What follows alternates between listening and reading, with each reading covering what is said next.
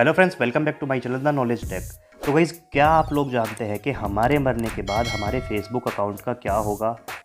हमारे social media account जो है फेसबुक है इंस्टाग्राम है, इनका क्या होगा? तो दोस्तों, जीवन का कोई भी भरोसा नहीं है। आज मैं आपको ये ट्रिक बता रहा हूँ, क्या पता कल मुझे ही ज़िंदगी किक कर दे। तो गाइज़ इसके लिए आप लोग अपना उत्तराधिकारी सेट कर सकते हैं। हम ये डिसाइड कर सकते हैं कि हमारे बाद हमारे सोशल मीडिया अकाउंट्स का क्या होगा। तो गाइज़ फेसबुक आपको एक मेमोरिलाइजेशन का ऑप्शन देता है, जिसमें आप ये सेट कर सकते हो कि आपके बाद आपका अकाउंट कौन मैनेज करेगा। और अगर आप नहीं चाहते हो कि आपके आपके बाद आपका अकाउंट कोई भी मैनेज करे तो आप उसे ऑटो डिलीट होने का भी हुक्म दे सकते हो। इसके लिए गाइज़ आपको फेसबुक ओपन करना है। यहाँ से आपको सेटिंग पर जाना है। सेटिंग पर जाने के बाद आपको सेटिंग ओपन कर लेनी है।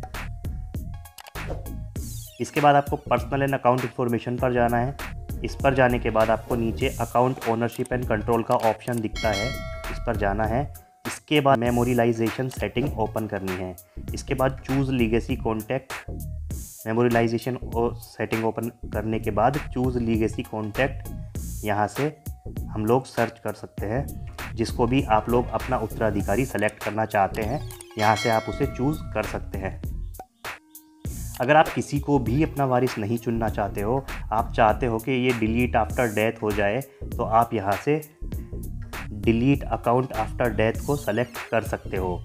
आप किसी को वारिस बना भी देते हो तो वो आपके मैसेज नहीं देख पाएगा, ना ही वो आपके अकाउंट से कभी भी पोस्ट कर पाएगा। सिर्फ़ वो टैग को रिमूव कर सकता है, आपका प्रोफ़ाइल पिक्चर बदल सकता है और इसके अलावा वो आपके अकाउंट को कुछ भी मैनेज नहीं कर पाएगा। तो गाइज़ अगर आप लोगों को जानकारी अच्छी लगी हो तो वीडियो को लाइक कर देना चैनल को सब्सक्राइब कर देना।